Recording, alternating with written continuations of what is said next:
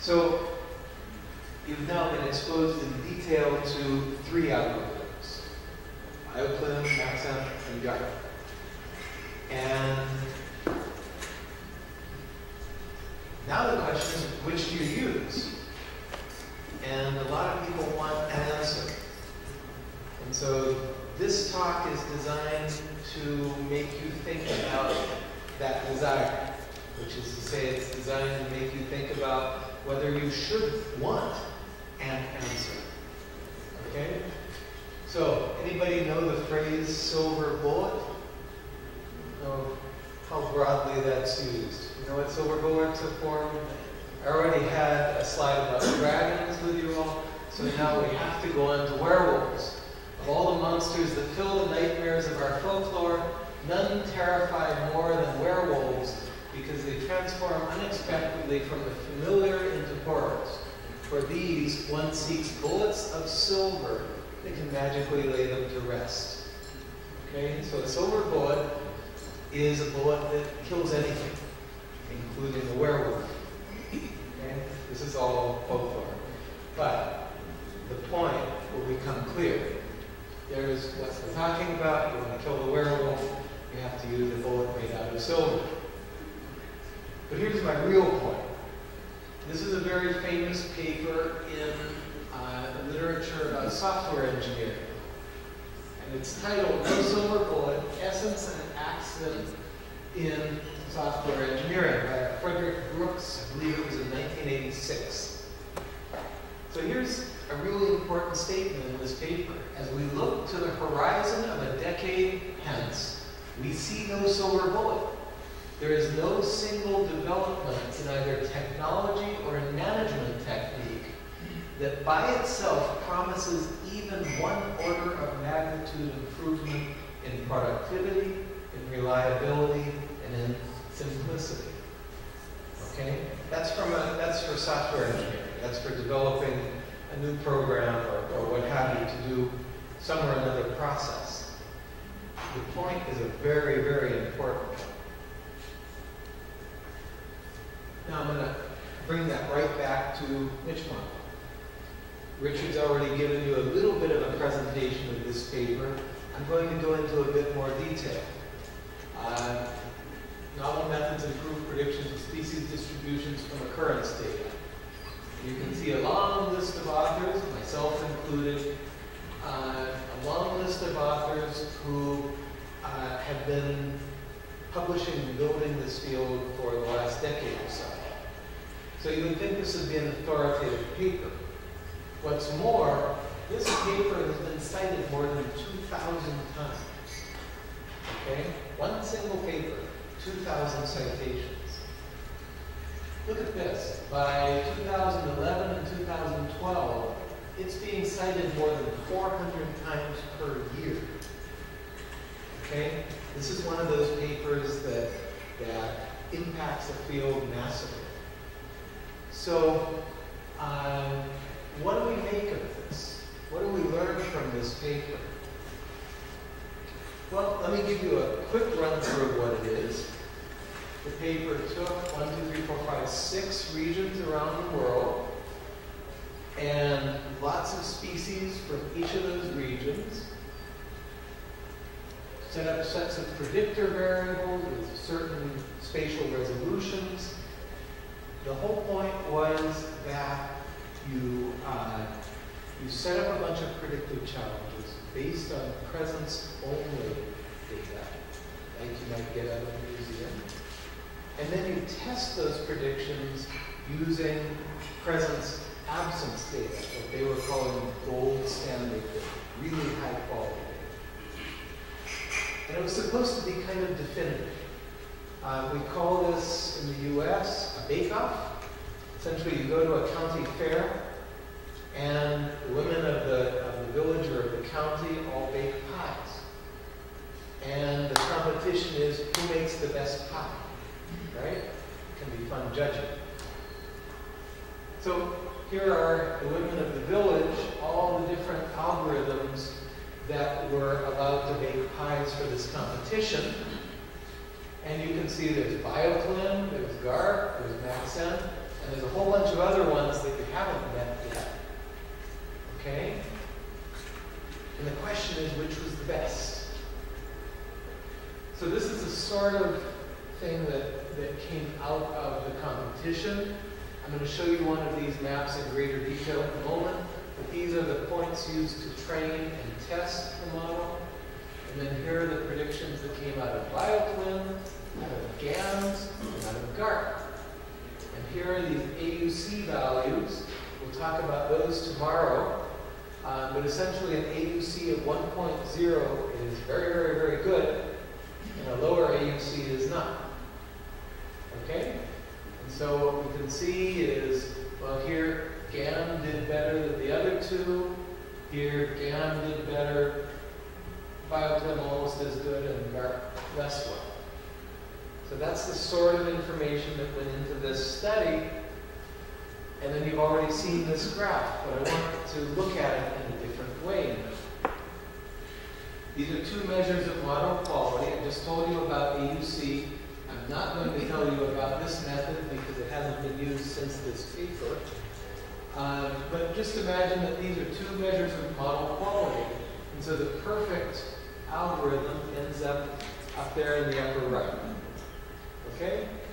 And so we've always called this graph the good, the bad, and the ugly, if you watch Clint Eastwood movies. Okay? The idea is simply, these are algorithms that did very well under both measures. These are algorithms that did okay, and these are algorithms that did poorly. Now, if you're looking at this graph, you're probably thinking, well, that's strange. They showed us how to use Maxent, and then they showed us two of the ugly ones. Why? Equipping you to fail because we're giving you the bad algorithms. Well, this is silver bullet thinking. This was a search for the best algorithm. And in fact, it turned into exactly that. Uh, it turned into launching massive and absolute buy-in to Maxent. Maxent is a very good algorithm, very powerful. It gives very clear predictions.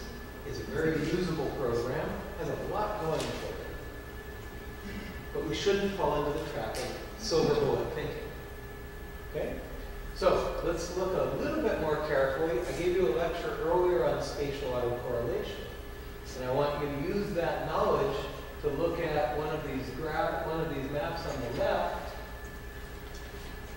The triangles are training points. And the dots are presences and absences that were used to test the model. And what you can see is that many times there are triangles and dots right next to each other. But what did you just learn about spatial autocorrelation? Points that are close together are not independent of one another. So it's a little bit like, or it's a lot like, fitting a model and then testing it to see how good it is based on the data you use to fit the model. And your statistics teacher would tell you never, ever, ever do that.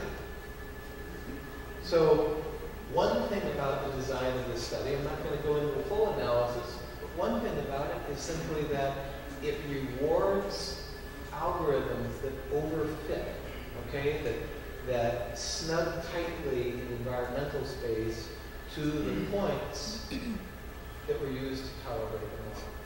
Okay, there are a lot of other problems, but I thought that would be a particularly relevant one to show you. So, no silver bullets in ecological niche model.